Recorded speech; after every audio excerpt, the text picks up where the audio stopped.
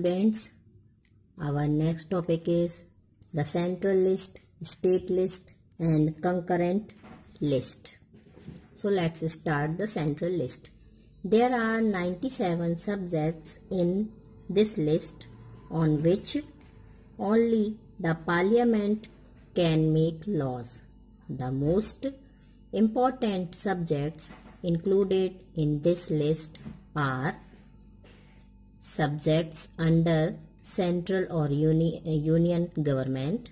Now, United Nations organizations, army, bank,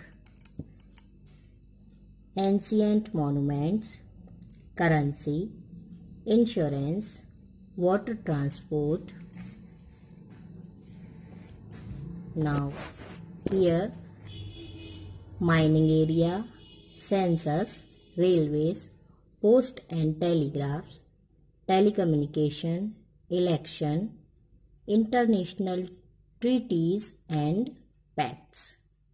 So student central list में 97 subjects होते हैं जो कि पार्लियामेंट जिनके लिए लॉज बनाती है और उसमें ये सारे सब्जेक्ट्स इंक्लूड होते हैं united nations organisation army bank ancient monuments currency insurance water transport mining area censors railways post and telegraphs telecommunication election international treaties and pacts ये सारी चीज़ें इंक्लूड होती हैं और इनके साथ साथ और ninety total ninety seven subjects होते हैं जिनके लिए जो सेंट्रल की गवर्नमेंट है, वो लॉज बनाती है।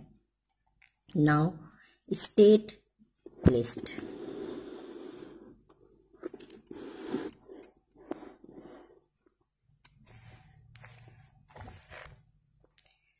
The state list.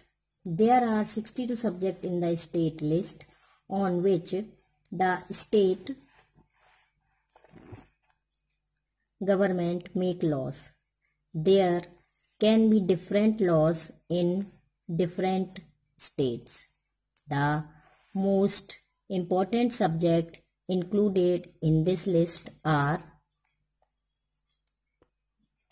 justice, roads, health local government police jail entertainment agriculture animal husbandry irrigation etcetera so these are the list of the subject of which are under the state level students state government के पास भी powers होते हैं, वो भी government है और state की गवर्नमेंट होती है और लॉ बनाती है तो उसके पास सिक्सटी टू सब्जेक्ट होते हैं। उसमें से कुछ जो है वो यहाँ दिए गए हैं, जैसे रोड्स के लिए जस्टिस है, हेल्थ है, लोकल गवर्नमेंट है, पुलिस है, jail, agriculture, entertainments, animal husbandry, irrigation etcetera etcetera इस तरह के बहुत सारे ऐसे टॉपिक्स हैं, ऐसे सब्जेक्ट्स हैं, जिनके ऊपर स्टेट गवर्नमेंट जो है वो लॉ बनाती है, उन पर काम करती है। तो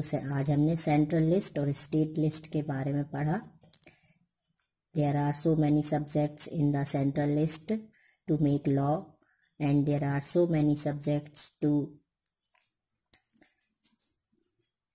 make law for the state government in state list so here are you have to find out some other subjects on which the government have to make the law. Central list and state list you have to find five more subjects in the central list and also in the state list